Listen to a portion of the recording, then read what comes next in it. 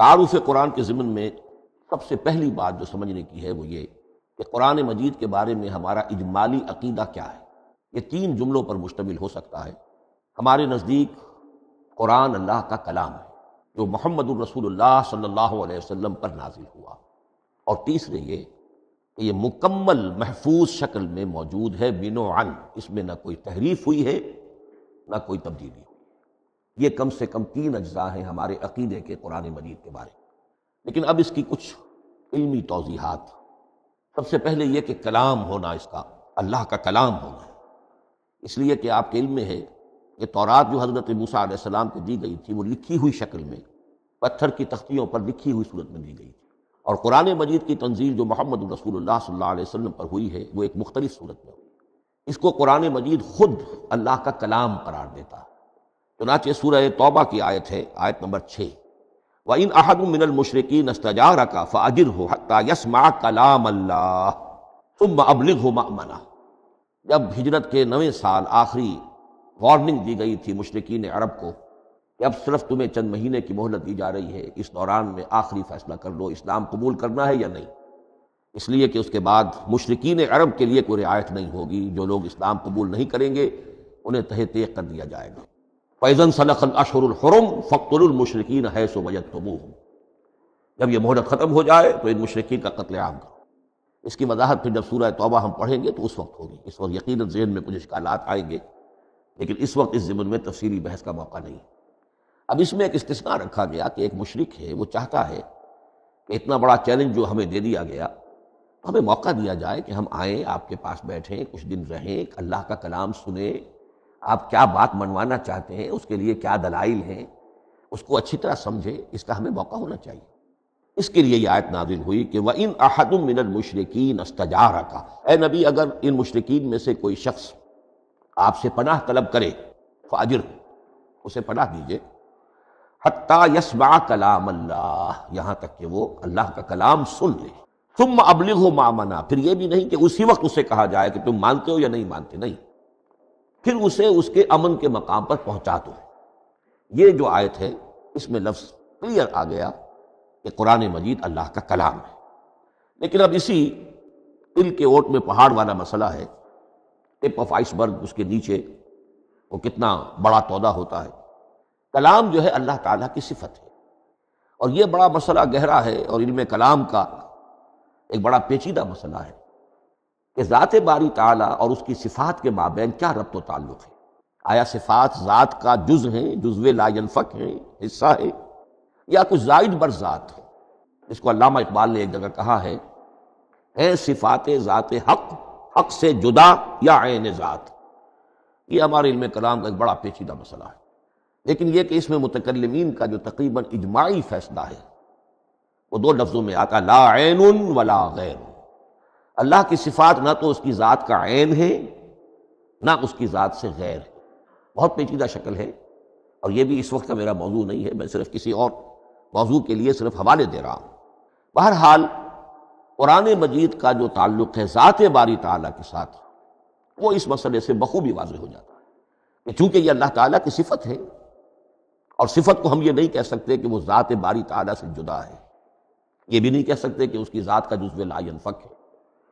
کچھ اسی طرح کا تعلق ہے قرآن مجید کا ذات باری تعالیٰ کے ساتھ۔ لیکن یہ مسئلہ قرآن مجید میں خود بیان ہوا۔ اور سورہ حشر کی آیت میں تو یہ فرمایا گیا، اللہ تعالیٰ نے اپنے اس کلام کی عظمت کو یوں بیان کیا۔ وہ عظمت کما ہیا، جیسے کہ وہ فی الواقع ہے۔ اور جس کا کہ گویا کہ پورا ادراک ہمارے لیے اپنی بہت سی محدودیتوں کی وجہ سے ممکن نہیں ہے۔ لیکن ایک تمثیل کے پیرائے میں سمجھایا، لو انزلنا هذا القرآن على جبل لرأيته خاشعا متصدعا من خشية الله وتلك الامثال نضربها للناس لعلهم يتفكرون اگر ہم نے اس قرآن کو کسی پہاڑ پر اتار دیا ہوتا، تو تم دیکھتے کہ وہ دب جاتا اور پھٹ جاتا اللہ کے خوف سے. اور یہ مثالیں ہیں جو ہم لوگوں کے لیے بیان کرتے ہیں تاکہ وہ غور کریں، تدبر کریں، سمجھیں مالا یدر کو کلو لا یدر کو کلو اگرچہ بتمام و کمال عظمت قرآن کا فہم ان کے لیے ممکن نہیں ہے، کسی درجے میں تو کچھ انعکاس اس کا ہو جائے، کچھ اندازہ ہو جائے۔ انسان اپنی ذہنی سطح کے اعتبار سے، اس کی مناسبت سے اسی درجے میں عظمت قرآن کا اندازہ کر لے تو اللہ تعالیٰ کے ان الفاظ کو سامنے رکھے۔ لو انزلنا هذا القرآن على جبل لرأيته خاشعا متصدعا من خشية الله۔ اب اس آیت کو سمجھنے کے لیے سورہ آراف کی آیت نمبر 143 کو سمجھنا ہوگا۔ اسی اصول کے تحت کہ القرآن یفسر بعضه بعضا۔ قرآن کا ایک حصہ دوسرے حصے کی تشریح کرتا ہے۔ وہاں یہ واقعہ بیان ہوا ہے کہ حضرت موسیٰ علیہ السلام کو جب اللہ تعالیٰ نے کوہ طور پر طلب فرمایا تیس راتوں کے لیے، جس میں بعد میں دس کا اضافہ کر کے وہ ایک چالیس رات کا ایک کورس بنا، دن رات۔ اس موقع پر جو مخاطبہ الہی، مکالمہ الہی سے مشرف ہوئے حضرت موسیٰ علیہ السلام، تو ان کی آتش شوق بھڑکی۔ اور انہوں نے بڑی جرت کر کے یہ درخواست کر دی، رب ارنی انظر الیک، پروردگار مجھے اپنا دیدار بھی عطا فرما۔ مجھے موقع عنایت فرما، میں تجھے دیکھ سکوں کہ ان کی وہ آتش شوق کا مسئلہ ہے۔ لیکن جواب کیا ملا؟ لن ترانی، تو مجھے ہرگز نہیں دیکھ سکتے۔ ولیکن انظر الجبل، فإن استقر مکانه فسوف ترانی لیکن ظاہر بات ہے کہ حضرت موسیٰ علیہ السلام کو بات سمجھانے کے لیے کچھ مشاہدہ بھی کرانا تھا۔ فرمایا، تم مجھے نہیں دیکھ سکتے، البتہ اس سامنے کے پہاڑ پر نگاہ جماؤ۔ ہم اس پر اپنی ایک تجلی ڈالیں گے۔ یہ اگلی الفاظ کے اندر وضاحت ہے، میں یہاں پہلے سے بیان کر رہا ہوں سمجھانے کے لیے۔ اگر وہ پہاڑ ہماری اس تجلی کو، تجلی کسے کہتے ہیں؟ جلا، روشنی۔ تو اللہ تعالیٰ کی طرف سے کوئی خاص اس کے نور کا جب پرتو ہوتا ہے کسی شے پر، تو وہ اس کی تجلی ہے۔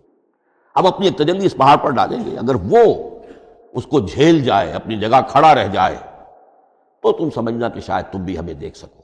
فلما تجلّہ رب جبل اب یہاں وہ لفظ آ گیا۔ جب اللہ نے تجلی اپنی پہاڑ پر ڈالی دکم وخر موسا سائقہ وہ پہاڑ ریزا ریزا ہو گیا اور حضرت موسا بے ہوش ہو کر گر گئے۔ اب یہ بے ہوش ہو کر گر جانا، جبکہ وہ تجلی براہ راست بھی نہیں ہے بل واسطہ ہے۔ مشاہدہ جو کر رہے حضرت موسا وہ بل واسطہ ہے۔ تجلی پہاڑ پر ہے۔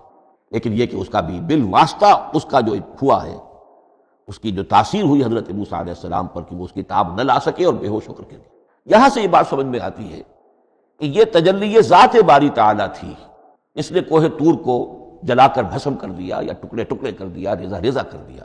اب ذات الہی کے ساتھ جو تعلق ہے، کلام الہی کا، اور یہ صفت جو لا عین ولا غیر کے درجے میں ہے ذات کے ساتھ، تو وہی تاثیر اس کلام الہی کی بھی لو انزلنا هذا القرآن على جبل لرأيته خاشعا متصدعا من خشية الله. وتلك الامثال نضربها للناس لعلهم يتفكرون. اس حقیقت کو اس دور میں میں اپنے مطالعے کی محدودیت کا اعتراف کرتے ہوئے عرض کر رہا ہوں کہ میرے نزدیک اس قدر پرشکوہ انداز میں علامہ اقبال نے بیان کیا ہے. اسی کیفیت کو وہ شاید اس کی کوئی مثال نہ مل سکے. فاش گویم آنچ در دل مزمرست. یہ کتابیں نیست، چیزیں دیگرست میں صاف ہی کہہ دیتا ہوں جو میرے دل میں چھپی ہوئی بات ہے۔ فاش گویم آنچ در دل مزمرست یہ کتابیں نیست، اس قرآن کو کتاب نہ سمجھنا۔ یہ کچھ اور شے ہے چیزیں دیگر است۔ اب وہ چیزیں دیگر کیا ہے وہی جو میں نے عرض کیا، ذات باری تعالیٰ اور کلام کا صفت باری تعالیٰ ہونا، اس کے بنا پر جو مناسبت ہے، جو قرب ہے، جو مشابہت ہے، مثل حق پنہاؤ ہم پیداستو زندہ پائندہ گویاستو اس کلام میں اللہ تعالیٰ کی ساری صفات کا انعکاس موجود ہے۔ یہ بات ویسے بھی سمجھ میں آتی ہے۔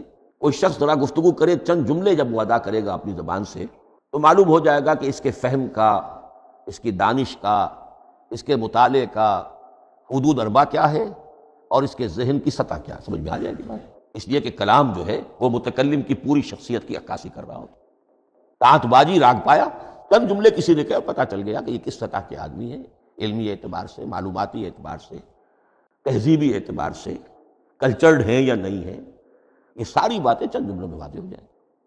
تو اللہ تعالیٰ کی بھی جملہ صفات کا عکس اس قرآن میں موجود ہے۔ ان میں سے جن میں سے، جن چند چیزوں کا ذکر علامہ نے شعر میں کیا، وہ جو سورہ حدید کی آیت ہے، هو الاول والآخر والظاہر والباطن۔ اللہ الظاہر بھی ہے، الباطن بھی ہے۔ اتنا ظاہر کہ اس سے زیادہ ظاہر کوئی شے نہیں اور اتنا باطن کہ اس سے زیادہ چھپی ہوئی کوئی شے نہیں۔ اسی لیے حضور سے جو منقول ہیں الفاظ کہ پروردگار، انت الظاہر ہو فلیس فوق کا شعی وانت الباطن ہو فلیس دون کا شعی یہی کیفیت قرآن کی ہے۔ مثل حق پنہا و ہم پیداستو پنہا بھی ہے، ظاہر بھی ہے۔ جیسے ذات باری تعالیٰ۔ اور جیسے اللہ تعالیٰ کی شان ہے تو آیت الکرسی کے شروع میں آئی، الحی القیوم۔ مثل حق پنہاؤ ہم پیداستو زندہ ہو، پائندہ ہو گویاستو یہ قرآن جو ہے اللہ تعالیٰ کی صفات کا ایک عکس اپنے اندر رکھتا ہے۔